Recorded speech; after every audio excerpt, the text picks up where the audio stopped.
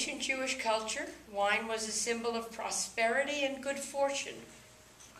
This, this wine blessing celebrates helping each other in our families, our friendships, and in all of our relationships.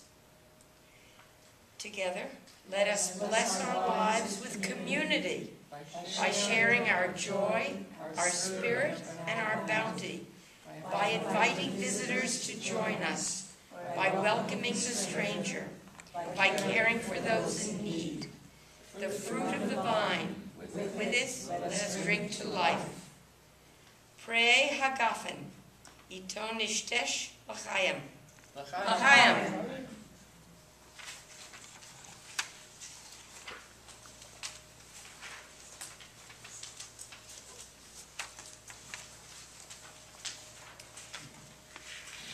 The rest and simple pleasures of the Sabbath help us feel extra soulful, extra alive. Some Jews even believe that on Shabbat they get an extra soul, neshama yetera. Secular humanists can po- poetically translate this into an extra breathing, since Shabbos can give us extra breathing room for living life to its fullest. Yet as each Shabbat ends, we return to our everyday lives of work, school, chores, and may I add, retirement. Thus, the extra soulfulness, the extra breathing room of Shabbos also goes. As we mark the end of Shabbat with this Havdalah service, we pass around and smell a ceremonial spice box called a hadass. Hadass is the Hebrew word for the myrtle, a lovely aromatic shrub, the branches of which were passed around by our ancestors in their Havdalah rituals. Folklore describes this custom as a remedy Jews used to revive and console themselves after they supposedly lost their extra souls at the end of each Sabbath. In truth, smelling the spices comes from the practice of burning incense in ancient temples, both as an offering in itself and to cover the smells of other burning sacrifices. After the destruction of the Second Temple in 70 CE, Burning anything during the Sabbath, including incense, was prohibited as a form of work.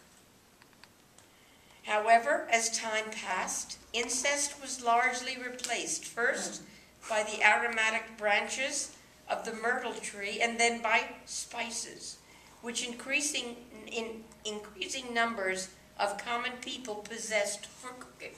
For cooking.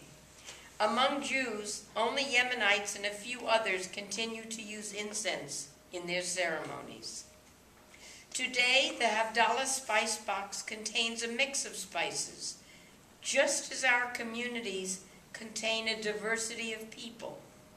As we smell the blended sweetness of these spices, let us appreciate the lovely bouquet of the world's diversity and the expansive possibilities that we encounter with our extra Shabbat soulfulness and breathing room. Let us also sense the bittersweet. Entering the hurry of the work week, we so often lose our extra soulfulness, our Shabbos consciousness, our appreciation of ourselves, each other, and the diversity of the world's wonders. Work is a big part of life. Most everyone except the richest of the rich, the retired of the retired, work for their bread. However, work must not be allowed to push out life. We need Shabbos. More importantly, we need rest and beauty. We need to stop and smell the roses.